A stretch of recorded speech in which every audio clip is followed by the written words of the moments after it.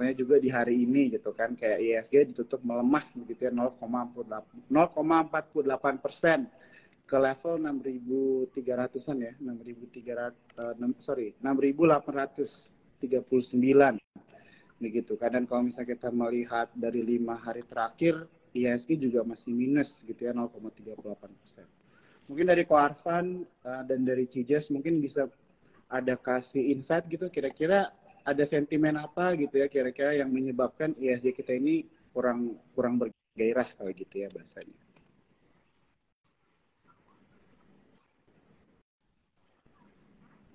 Siapa dulu nih? Saya dulu, dulu aja nggak apa-apa. Oh saya dulu. Saya dulu. Halo. Oke. Oke.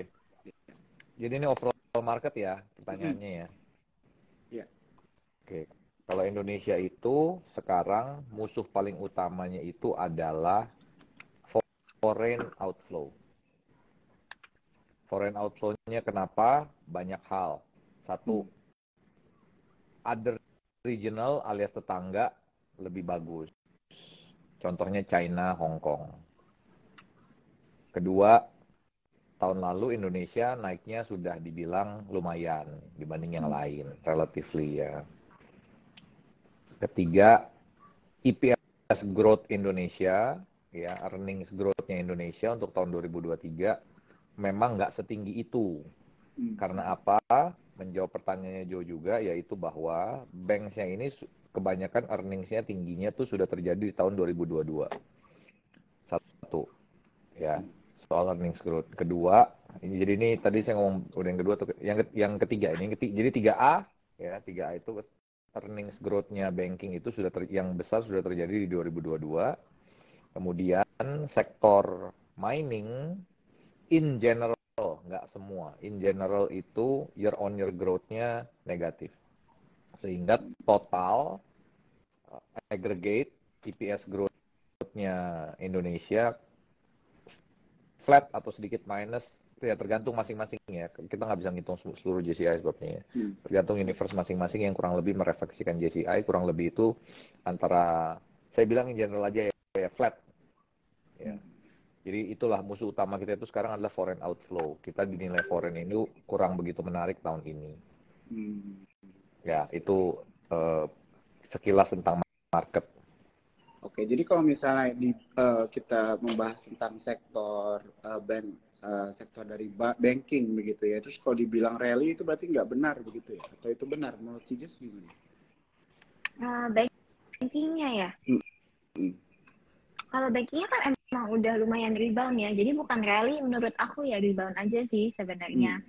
Dan dari sisi banking sendiri kan emang kalau misalnya kita lihat uh, performance bank big banks ya terutama itu kan emang lumayan bagus-bagus ya kayak kita lihat growth juga oke. Okay. Uh, jadi mungkin ya emang di antara sektor yang lain kesannya memang big, big banks lebih perform gitu Jo. Apalagi kalau misalnya kita bandingin dengan misalnya coal mining atau dengan yang lain. Tapi sebenarnya kalau misalnya kita lihat juga um, metal mining juga lumayan banget kan uh, performance-nya kalau kita lihat rebound dari bottomnya juga lumayan dari bottom uh, bulan November ya. Jadi itu juga lumayan banget. Jadi uh, mungkin dua sektor itu sih yang bisa dilihat gitu kalau menurutku. Oke. Jadi kalau misalnya walaupun contohnya contohnya kayak di hari ini kan big four banks ini kan memang uh, terkoreksi ya Cijas sama Farfan ya kalau kita lihat kan. Nah tadi itu ada yang sempat bertanya gitu kan apakah ini udah sekarang saatnya yang tepat untuk masuk kah begitu kan apalagi kan BBRI sama eh sorry BBCN sama BNI kan baru uh, rilis laporan keuangan gitu ya di sini berdasarkan data dibilang BBCA laba bersihnya naik nih 30% secara year on year gitu ya. BBNI juga uh, bagus begitu kan secara laporan keuangan gitu ya. Nah, tapi kan kalau misalnya kita beli perusahaan yang baik tapi di harga pucuk kan juga tetap tetap gimana gitu ya kan rasanya. Nah, kalau misalnya dari CJ sama Karvan sendiri mungkin ada advice nggak buat cuan troopers nih yang pengen invest di saham-saham yang lebih stabil gitu kan contohnya banking gitu kan tapi masih dibilang harganya itu terlalu tinggi. Gitu. Bagaimana tanggapannya?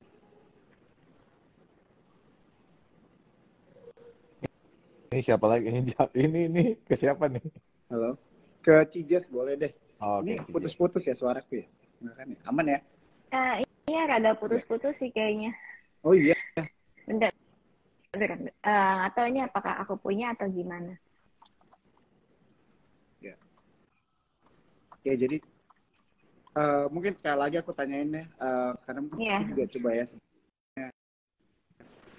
wifi-nya kurang bagus. Ya, tapi intinya tadi pertanyaannya jadi uh, walaupun dengan performa perusahaan uh, performa emiten big four banking yang bagus, tapi kalau misalnya belinya di harga pucuk kan juga menjadi um, jadi bingung juga gitu ya. Mungkin banyak cuan troopers apakah harus masuk atau nunggu terkoreksi begitu kan. Tapi kalau misalnya dilihat secara performance kan perusahaannya memang bagus gitu. Mungkin dari Cijes ada tanggapan nggak atau mungkin advice bagaimana caranya buat cuan troopers untuk berinvestasi di eh, saham-saham bank besar ini?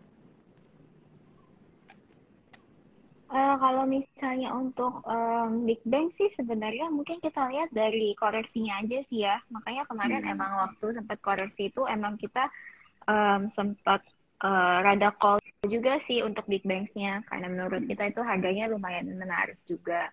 Dan kalau misalnya sampai ada foreign inflow atau sampai ada rebound gitu ya, memang biasanya big banks yang akan duluan naik nih gitu. Soalnya kan memang um, banyak kan pasti foreign investors juga ngelihatnya big banks duluan gitu sih. Hmm. Jadi menurutku kalau misalnya sampai ada koreksi yang cukup signifikan, kayak kemarin menurutku di setiap kali indeks ada di 6.500 tuh biasanya rebound gitu kan. Jadi 6.500 ya udah kita mulai cicil banking aja gitu waktu itu menurutku.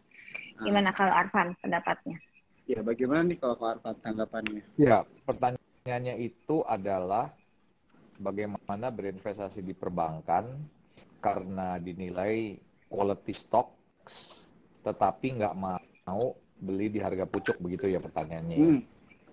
Nah perlu diketahui bahwa earnings growth tahun ini banking itu nggak sebagus tahun lalu. Hmm. Satu, ya. Tahun lalu tuh bagus-bagus 30, 40, 50 earningsnya tinggi-tinggi. Yeah. Tahun ini earningsnya nggak setinggi itu, earningsnya tuh normal aja. Ya, di konsensus itu bilang antara 10 to 15 rata-rata. Itu satu.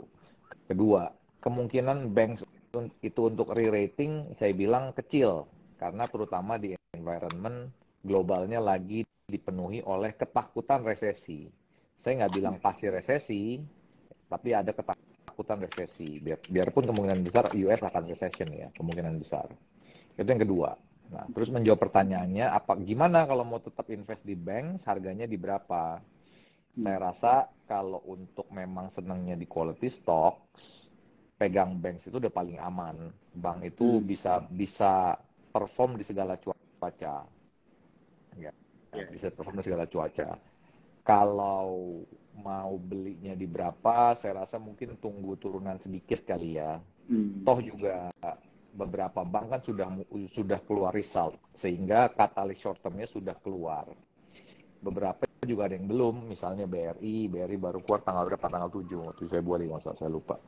Ya, jadi uh, mesti pilih-pilih juga, jangan belinya serampangan ya. Kayak misalnya kalau saham paling saya bilang saham yang paling tahan cuaca salah satunya ya four banks the, the, the big four ya salah satu BCA cuman BCA ini PB-nya mahal sekali ya. tapi memang come for a reason NIM-nya bagus dia punya kasanya kasanya besar dan kasanya itu rendah sekali ya cost of fund dari kasanya dia rendah sekali rasanya besar. Memang very unik dan saya bilang memang BCA ini memang pantas untuk di harga lebih premium dibanding yang lain. Ya, jadi menjawab pertanyaannya uh, sabar sedikit, uh, tunggu koreksi sedikit ya karena saya lihat musuh Indonesia yaitu foreign fund flow belum berakhir. Foreign fund foreign outflow-nya belum selesai nih kayaknya nih masih masih aja nih. Ya. Saya bilang minggu lalu ada foreign inflow, maybe cuman teknis aja ya, karena dari Desember kita tiap hari foreign outflow, masa terus-terusan ya. Kita juga nggak seburuk itu kok ekonominya. Pasti akan ada foreign inflow saat harganya sudah dinilai mulai cocok ya oleh si pembeli kan. Hmm.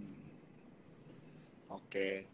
Thank you Ko Arfan. Jadi kalau misalnya uh, teman-teman uh, tadi menyimak gitu ya, jadi Ko Arfan mungkin bilang untuk uh, big banks gitu memang perlu bersabar juga kali ya untuk mau melihat entry pointnya juga ya kurang lebih begitu. Nah tapi kalau misalnya ada yang nanya nih ke Koarvan dari dari empat big banks ini walaupun semuanya memang secara performance begitu ya dan laporan keuangan bagus, kira ada nggak yang favoritnya Koarvan mungkin dari empat bank tersebut? Uh... Yang berpotensi potensi kali ya lebih menarik atau lebih banyak opportunity di tahun 2023 ini? Uh, kalau Big Bang sih in general saya nggak terlalu favorit, saya biasa aja ya. Hmm. Kalau disuruh milih antara empat, saya wah susah ya. Kalau saya bilang paling meyakinkan itu BCA, tapi paling mahal. Hmm. Yang paling ada upside-nya saya bilang BRI Mandiri. Ya, hmm. tapi ya tetap gini, BCA itu paling solid lah, paling ada problem saya bilang. Hmm. Ya. BRI misalnya contohnya selalu orang takut kurnya. BMRI ada spike up in NPL and other things. Sorry. Saya bilang BCA itu paling bersih dari masalah tapi ya valuasinya mahal. Hmm. Kalau disuruh pilih ya saya pilih BCA lah dari antara empat ya tapi in general saya kalau boleh sih saya nggak mau pilih bank ah ini saya menarik dan banyak juga nih ya buat cuan troopers untuk denger nih langsung dari profesional nih ya teman-teman ya di pasar modal oke okay. um, kalau misalnya kita lanjut uh, ke pertanyaan selanjutnya kan memang mengikuti dari judul Ajilat kita malam ini kan memang membahas juga ya bagaimana potensi dari uh, sektor metal dan mining ya gitu kan dan kalau misalnya aku lihat sih tadi berita-beritanya memang kalau uh, dilihat uh, nikel ini cukup menarik begitu ya Cijes sama Koarvan gitu. Karena kebijakan pemerintahan begitu yang mendukung hili, hili bacanya gimana? Hilirisasi gitu kan. Jadi uh, dan kita juga menjadi salah satu negara yang uh, pengekspor nikel uh, salah satu yang terbesar juga begitu kan. Nah, jadi untuk kita melihat juga di tengah era yang mulai banyak kendaraan listrik dan um, apa uh, energi ramah lingkungan mulai digaungkan begitu kan apakah Indonesia akan diuntungkan begitu dari sektor nikel ini dan bisa mungkin menjadi perhatian gitu kan buat cuan troopers uh, sektor uh, nikel ini gitu kira-kira tanggapannya buat Cijes dan Koarvan gimana? Bebas siapa aja yang mau jawab boleh.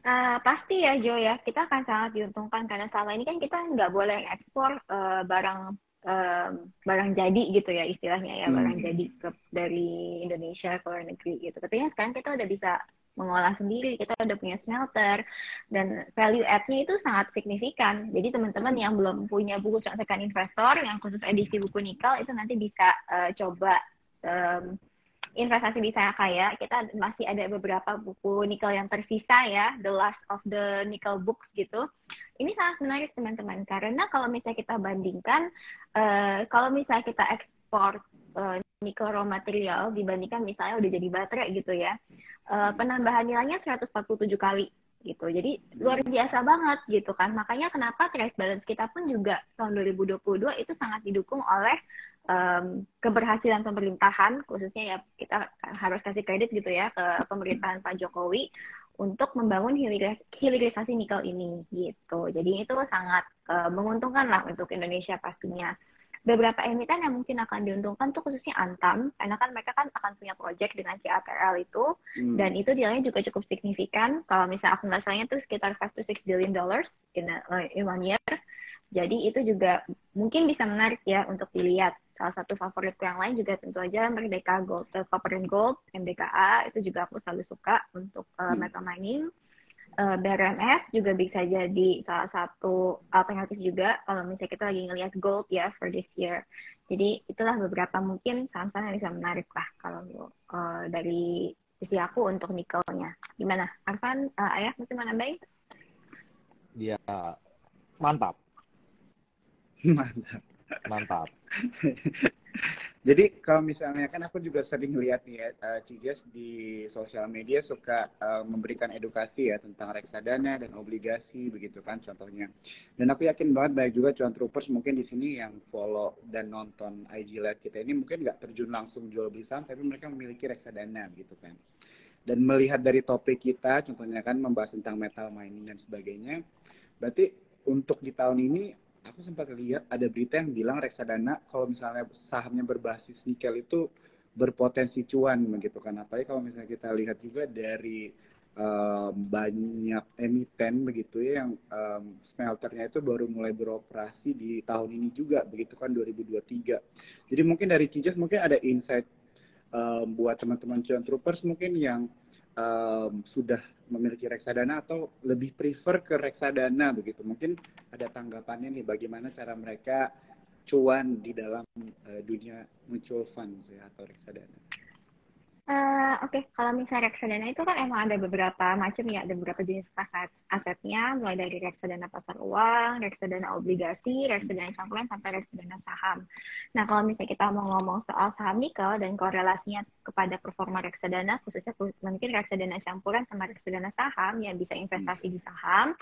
Nah, mungkin kita bisa ngelihat dari fact sheet-nya sih, teman-teman, apakah fact sheet-nya ini kita melihat komposisi daripada holding reksadana itu tersebut, portfolio investasinya ada yang mengandung saham-saham emiten nickel mining gitu hmm. atau mungkin metal mining gitu. Jadi kita bisa ngeliat di sana sebenarnya.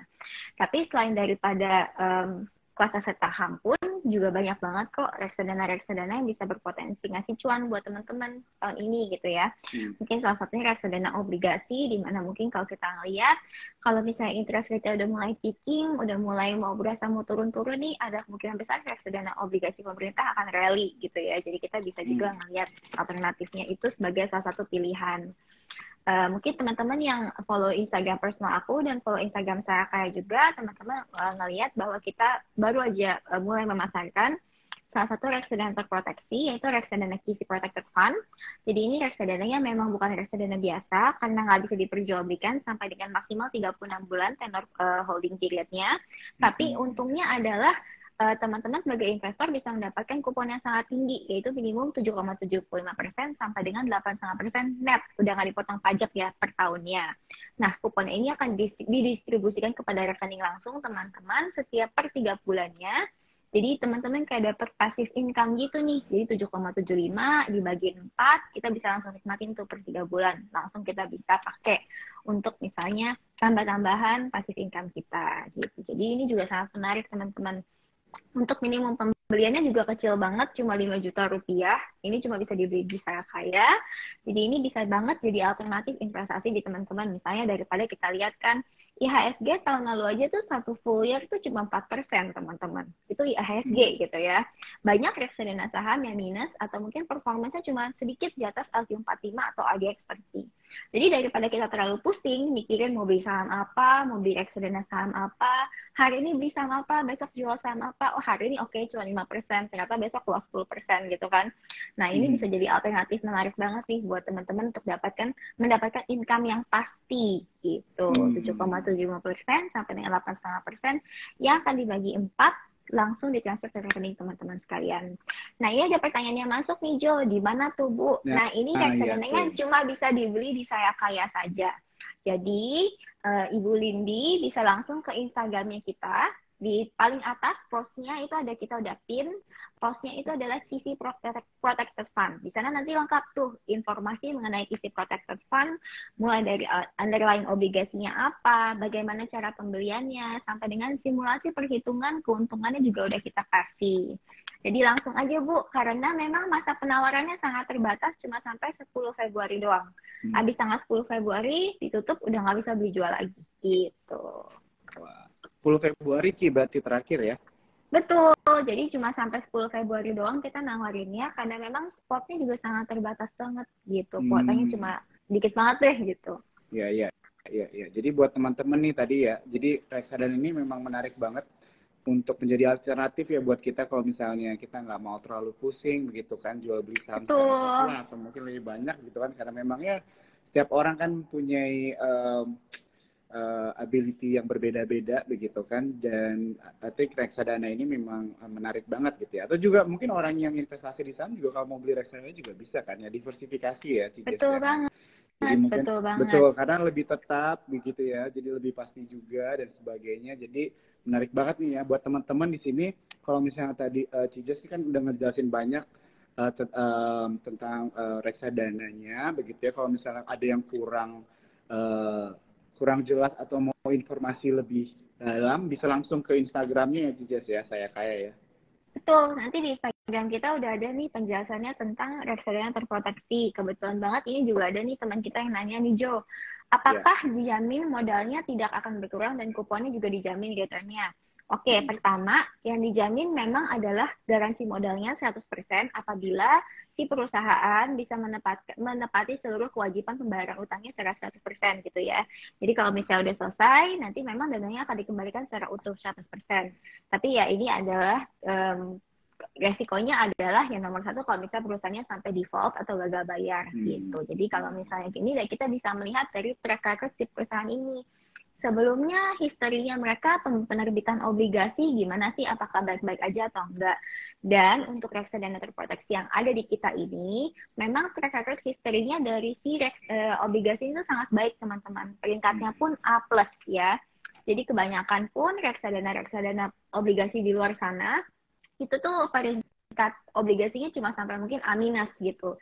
Jadi ini udah A plus, jadi secara track record juga udah bagus banget, tidak pernah sama sekali tidak pernah gagal bayar, tidak pernah default gitu ya. Hmm. Nah untuk kuponnya memang dijamin returnnya ya. Jadi kalau misalnya udah 7,75 persen, ya nanti ke depannya selama tiga tahun itu akan 7,75 persen, nggak akan berkurang di bawah itu. Hmm. Misalnya nanti ternyata dapat 8,2 persen gitu ya berarti ya berarti selama tiga tahun pasti akan 8,2 persen per tahunnya. Tidak akan di bawah itu gitu teman-teman.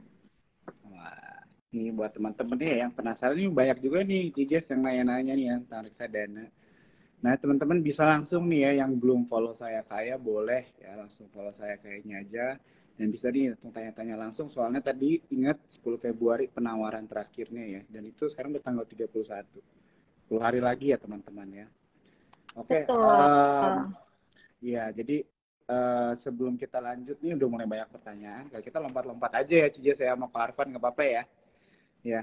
Jadi uh, teman-teman di sini aku mau ingetin sekali lagi ya, kalau teman-teman belum ada yang punya akun di Support Sekuritas, bisa nih langsung buka ya. Aku udah bikin di pin komennya itu di ivonsupportsekuritas.com ya untuk pembukaan akun dan juga bisa langsung ya teman-teman download aplikasi uh, tradingnya spot ya namanya bisa dicek di Google Play dan um, di ya di di Google Play ya dan Betul, di App Store. Kita, aplikasi kita ada di App Store sama ada di Google Play Store. Tapi untuk ah, khusus iya, reksadana reksadana terproteksi ini pembeliannya manual ya guys ya teman-teman. Cuan trooper semua pembeliannya manual. Hanya bisa melalui pemesanan terlebih dahulu. Jadi kita pesan dulu terus nanti dari pihak saya kaya akan konfirmasi. Terus kita baru transfer nih ke rekening reksadananya gitu. Jadi karena ini memang tempatnya terbatas banget emang makanya harus pesen dulu teman-teman.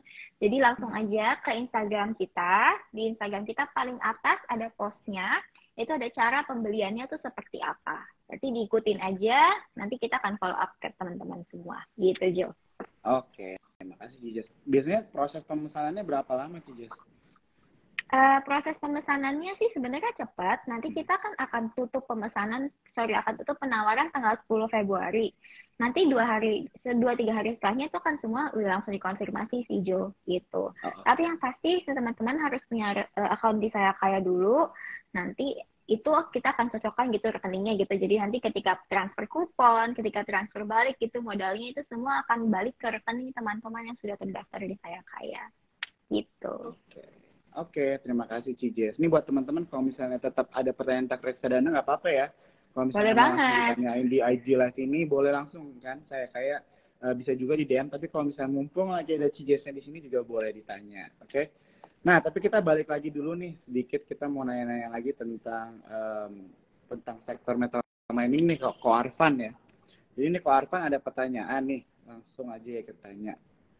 Uh, uh, ada yang nanya kok tentang view-nya untuk harum begitu Apakah terpengaruh dengan sentimen nikel mengingat porsi nikelnya masih belum terlalu besar? Mungkin secara in general juga dari Ko Arfan sendiri kira-kira apa ya in, um, pendapatnya tentang emiten Harum? Oke, Harum itu sampai dengan 2022 itu revenue-nya itu masih mostly contributed by coal revenue. Hmm. Nikelnya itu baru 2024 onwards mulai tinggi ya, tergantung juga harga nikel dan harga coalnya masing-masing ya. Kalau ditanya view-nya seperti apa, saya takutnya orang masih berpikir Harum ini lebih banyak coal related. Ya, hmm. kemudian menyambung juga ada pertanyaan juga view on coal gimana? Hmm. Sepertinya sih coal memang harganya akan normalize Hmm. Why? Karena natural gasnya sudah turun banyak. Ya, biarpun natural gas ini bukan perfect barang substitusinya untuk coal, tapi mirip-mirip ya, kurang lebih mirip-mirip. Harga natural gasnya sudah terlalu udah turun banyak. Saya cukup yakin harga coal akan normalize. Turunnya ke berapa? Kalau kita di kita udah bikin forecastnya kurang lebih itu memang jaraknya agak lebar ya. Normalnya antara 150 sampai 250, 250, 270 kurang lebih ya. Akan bergerak di arah situ tahun ini kira-kira ya. ya. Itu satu. Kembali ke Harum, saya sih menghindari dulu untuk sektor coal. Kalau sektor hmm. nikel jelas kita suka sekali dengan nikel. Kenapa? Karena kita bilang demandnya nikel ini akan selalu tinggi starting 2024 at least ya atau atau paling enggak second half 2024 nickel demand will exceed nickel supply. Hmm. Karena kebutuhannya memang akan semakin meningkat. Tetapi harga nikel saya bilang sulit untuk naik tinggi. Sekarang harganya di berapa? 28, 29, 27, 27, 8, 29 ribu kalau berharap nikelnya ke harga 4000 sementara ini saya bilang kelihatannya sulit. Karena apa? Karena kalau harganya bergerak terlalu tinggi pelaku pelaku industri yang menggunakan nikel ini akan mencari benda substitusinya untuk nikel. Ya contohnya untuk baterai sekarang aja sudah sudah ada nickel base battery dan iron base battery.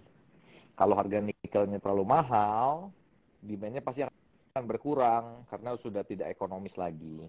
Jadi nikel ini adalah volume game.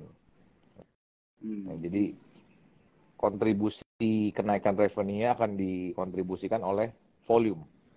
Ya, saya rasa harga nikelnya kalau berharap terlalu naik terlalu tinggi, misalnya 40 atau 50 ribu, ya tinggi itu kan relatif ya, berapanya nggak tahu. Tapi kalau berharap 40 ribu dalam waktu cepat, saya rasa saya rasa least likely ya ya begitu. Jadi overall kita sangat suka dengan sektor nikel. Copper juga bagus. Copper itu juga pemakaiannya pemakaian copper di electric vehicle juga tinggi. Ya. terutama juga copper itu banyak dipakai di green energy.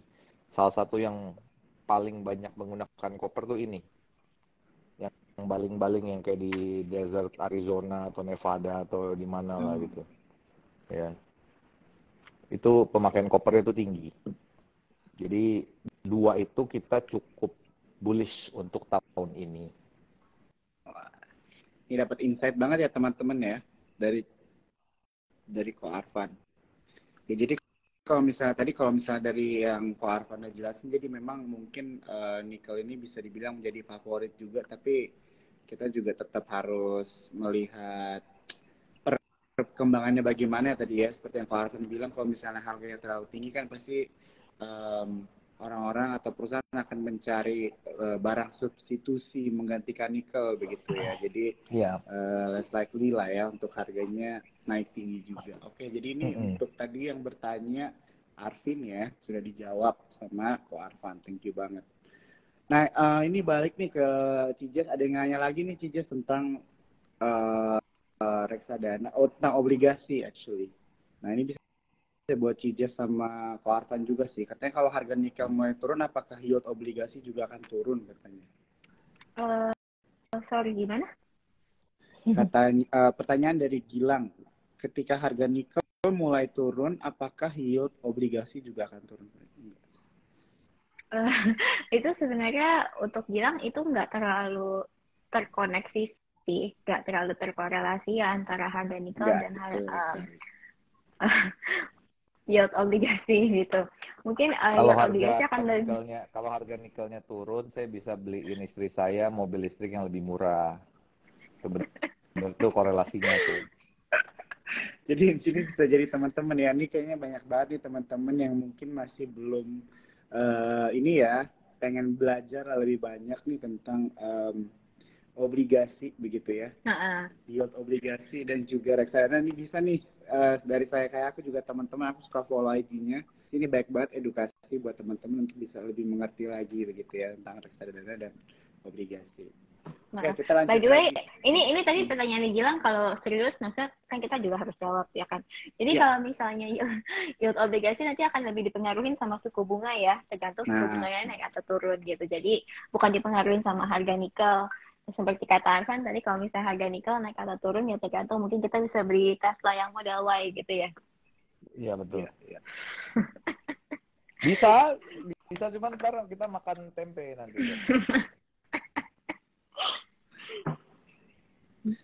Oke, kita lanjut ya pertanyaannya. Saya bantu jawab tadi ya pertanyaan. Oh, boleh.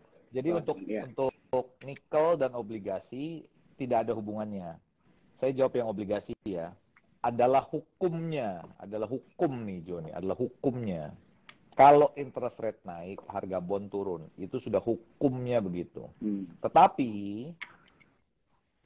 ya ini hukum berarti pasti. Interest rate naik, harga bond pasti turun tapi pastinya ini berapa lama? Banyak faktor-faktor yang lain. Bisa jadi turunnya cuma satu menit, dua jam, tiga hari, lima hari, tiga bulan, atau terus-terusan, nggak ada yang tahu. Ya, tapi itu adalah hukumnya begitu. Kalau interest rate naik, harga bond turun. Begitupun sebaliknya.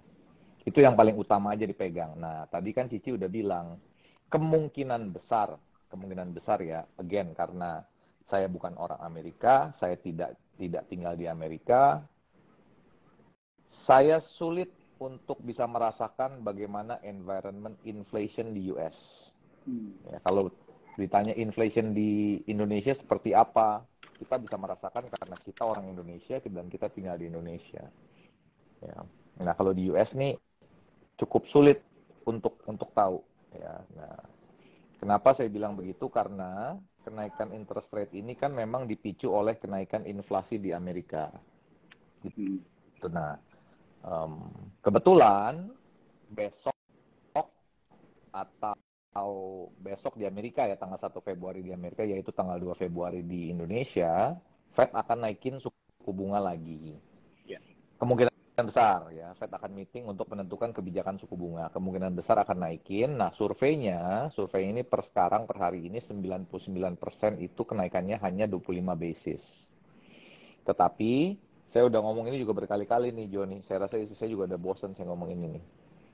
Yaitu Fed tidak pernah bilang dia akan menstop kenaikan suku bunga tidak pernah bilang itu tetapi Fed bilang kita akan responsif terhadap economic data. Kita akan menaikkan terus, kita akan menjaga kestabilan, kita akan naikin. Kalau kita kalau memang dibutuhkan, kata kalau memang dibutuhkan kita akan naikin terus sampai level yang cukup. Nah, untungnya dari kemarin-kemarin ini kenaikannya yang 75 bips, ya one of the most aggressive Fed interest rate hike. Sekarang sudah melambat. Yang kemarin ini dari 75 yang terakhir di 50 sekarang kemungkinan udah 25 tetapi bukan berarti Fed akan semerta-merta stop kenaikan interest rate. Ya, ya. itu itu udah yang keberapa tuh udah lupa deh gue tuh yang keberapa gitu ya intinya terus yang melanjutkan pertanyaan bondnya seperti apa? Nah tadi Cici pernah bilang tadi Cici bilang bahwa saat interest rate-nya turun harga bond pasti naik Pasti. Hmm. Cuman nggak tahu berapa lama tadi saya bilang kan. Nah, biasanya by historical saya pernah run datanya saat just before just before ya just before Fed mau turunin biasanya bondnya itu rally dulu. Harganya naik banyak. Biasanya begitu. Ingat ya kata-katanya, saat just before dia menurunkan. Ya. Nah masalahnya, makanya makin kompleks nih. Sepertinya tahun ini Fed-nya naikinnya tidak terlalu banyak, tetapi akan stay di atas. Ya, tapi ini qualified untuk bilang bahwa interest rate is peaking dan nanti peak. Tapi panjang nih, peaknya panjang terus, diem terus nanti baru mulai turun.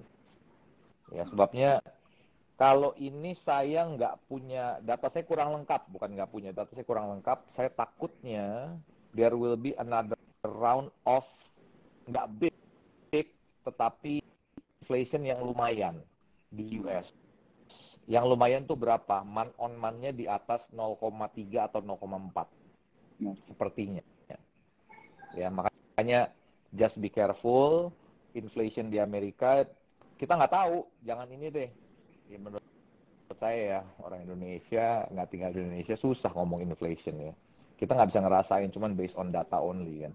Kalau kita cuman based on data only juga susah ngomongnya. Karena kadang data itu kan nggak tep, bukan nggak tepat ya. Yeah. Datanya tuh kadang-kadang mesti yeah. pilah-pilah. Data kan mesti pilah-pilah. Kalau cuma data doang tuh banyak biasnya ya. Gitu. Jadi tapi kalau interest rate kemungkinan besar memang peaking ya. Jadi kalau nanti sudah mau sudah mau turun atau bener peaking atau peak obligasi obligasi sih mantap. Oke.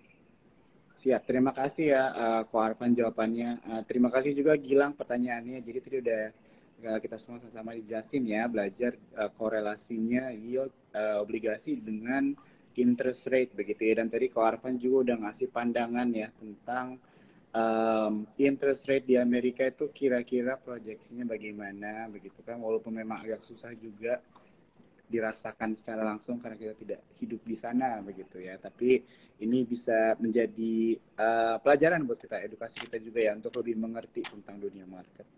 Oke, ini ada pertanyaan lagi ya, Cijes. Kita mungkin masih bisa beberapa lagi pertanyaan. Balik lagi nih tentang um, tentang beli obligasi, Cijes. Ada yang nanya dari Mel Kuesah, kalau mau beli bond, apakah sekarang sudah waktu yang tepat atau mending tunggu konfirmasi suku bunga Indo tidak dinaikkan lagi nih, Cijes? Uh, ini tadi pertanyaan sudah setengah dijawab sama Arfan ya. Jadi ketika hmm. just before um, Fed atau uh, Central Bank itu mau menurunkan suku bunga biasanya bondnya udah rally duluan. Dan ini tuh inline banget sama historical data juga. Biasanya emang bond traders itu akan lebih bisa menebak arah market gitu ya. Biasanya bond traders itu nggak pernah salah. Bukan equity traders loh, bukan bukan trader saham yang nggak pernah salah. Saya biasanya bond traders yang nggak pernah salah gitu. Jadi yeah. uh, biasanya just before interest rate itu akan diturunkan, bondnya udah rally duluan gitu. Nah ini makanya kita tinggal uh, confidence kita dalam front running market tuh kayak gimana gitu kan. Misalnya kita bilang, uh, ya yeah, with my confidence actually 2023 bondnya akan rally gitu kan. Karena hmm. mungkin Fed-nya akan nurunin suku bunga. Sama sih yang seperti tadi Arkan bilang, belum ada konfirmasi Fed akan nurunin suku bunga di tahun 2023, jadi kita better be careful gitu ya. Kalau misalnya kita mau ya kita bisa nyicil. Jadi kalau misalnya ada penurunan signifikan nih di obligasi negara gitu ya, oke kita bisa cicil mungkin. Tapi menurut aku akan lebih um, diversified dan akan lebih bijak lagi kalau kita tuh nyicil di reksadana obligasi pemerintah. Karena kita bisa punya exposure ke obligasi yang uh, yang banyak gitu ya, bukan cuma satu doang. Kalau kita beli FR gitu kan dana kita kan limited gitu ya. Beli FR sekali minimal 100 hmm. atau 200 juta. Udah gitu sepertinya lumayan besar. Kalau kita beli reksadana obligasi, selain dari pendapatannya udah final, kan udah nggak kena pajak lagi, juga kita punya exposure ke beberapa obligasi pemerintah pada saat yang bersamaan gitu. Jadi menurut aku akan lebih um, bijak untuk kita nyicil uh, reksadana obligasi pemerintah dibandingin kita mencoba nebak arahnya Fed terus kita mau beli obligasi pemerintah langsung gitu ya FR atau Indon itu hmm. akan lebih beresiko buat kita kalau menurutku sih gitu Jo. Oke, terima kasih Cijas jawabannya. Terima kasih juga ya buat Mel yang udah uh, bertanya ya di kolom questions. Oke, kita um, uh, lompat lagi nih teman-teman ya cuan troopers kita mau nanya lagi nih ke uh, balik ke Koarvan begitu ya tentang sektor-sektor uh, yang menarik di tahun 2023 ini gitu kan. Tentu kita pasti penasaran juga kira-kira menurut Ko Arfa nih di luar topik kita membahas tadi sektor banking dan metal, mungkin ada nggak sektor yang berpotensi memberikan cuan nih terhadap cuan troopers di tahun 2023 ini? Saya bilang kalau per sekarang masih base metal yaitu nickel, copper, and some gold satu. Kedua consumer biarpun consumer ini slow ya tapi banyak akan banyak resultnya juga bakal bagus-bagus. Banking oke okay lah banking oke okay lah. Saya bilang masalahnya banking itu tadi saya udah bilang earnings growth-nya nggak sebesar 2022 dan belum ada belum bisa cari rating hmm. yang ketiga itu yang ketiga tadi yang keempat saya bilang sementara hindari call dulu ya karena harganya akan normalizing. Ya. Yang menarik sih itu dulu ya, itu dulu lah. Oke, jadi um, oke okay, terima kasih uh, Pak Arkan. Jadi tadi kalau aku recap uh, yang menarik uh, dari Pak Arkan tadi bilang sektor konsumsi ya, banking. Ya, consumer base metal, okay. banking oke okay lah, oke okay ya. aja lah. Oke, okay. oke okay, sip sip. Nah, jadi um, ini juga uh, kita balik lagi nih ke Cijes begitu ya. Uh, ini sebenarnya adalah salah satu pertanyaan uh, titipan juga begitu ya. Ada beberapa dari cuan sebenarnya yang di tahun 2023 ini lebih banyak concernnya uh, ke arah uh, managing, managing their money gitu ya. Bagaimana caranya berinvestasi dengan baik begitu kan. Jadi kalau misalnya kita ngobrol sama Cicis kan Cicis uh, sharing tentang reksadana, tentang obligasi juga, gitu kan, dan invest langsung di saham ini kan instrumen-instrumen yang berbeda begitu kan. Nah mungkin kalau misalnya dari Cicis sendiri begitu ya sebagai uh, financial advisor mungkin ada insight atau advice nggak buat para investor dan trader nih kalau misalnya mereka mau mengelola investasi mereka porsi-porsi atau cara-cara berinvestasi itu yang baik bagaimana gitu. Mungkin bisa dimulai dari yang pemula begitu kan. Apakah langsung ke lompat reksadana dulu atau katanya ada kata-kata yang bilang best way untuk belajar saham tuh langsung lompat dulu gitu. Atau mungkin dari Cijas ada um, insight yang lebih baik mungkin buat para cuan troopers bagaimana caranya berinvestasi? Iya, kalau itu ada benarnya ya ada maksudnya ya ada resikonya juga gitu ya. Dan tapi ya sama seperti semua jenis investasi semua pasti ada unsur resikonya. Benar kalau misalnya kita mau uh, mencoba untuk belajar sesuatu akan paling baik ya kita langsung terjun langsung gitu ya. Tapi bedanya dengan uh, mungkin zaman-zaman dulu adalah sekarang produk investasi dari risiko entry-nya sangat rendah Jo misalnya hmm. reksadana banyak banget yang mulainya itu cuma dari sepuluh ribu rupiah buka akun saham cuma seratus ribu rupiah jadi sebenarnya kan dari risiko entry-nya tuh udah udah rendah banget lah semua orang bisa hmm. investasi beli reksadana sepuluh ribu itu jauh lebih murah dibandingin kita beli satu gelas kopi kekinian gitu ya. Yeah. Even kalau misalnya yang kopi tip gitu ya kan yang paling murahnya belas ribu gitu kan atau hmm. enam belas ribu. Ini reksadana lebih murah lagi yaitu sepuluh ribu. Jadi sebenarnya untuk investasi reksadana barrier to entry sudah hampir tidak ada teman-teman gitu. Nah untuk pemula mungkin kalau misalnya saranku selain mungkin kalau misalnya mau langsung investasi saham bebas, tapi menurut aku kita bisa belajar dulu ritme marketnya dengan beli reksadana gitu ya.